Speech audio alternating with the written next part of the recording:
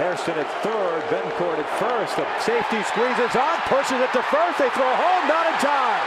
Hairston scores. The ball goes to the backstop. Lucroy's going to advance to second.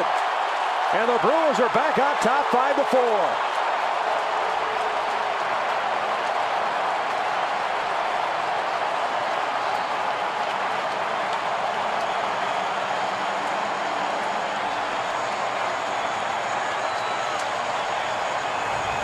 Second in the league in bunts.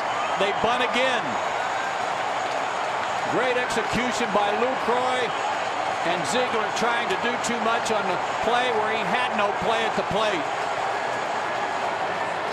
And threw it away, and now he's in more trouble.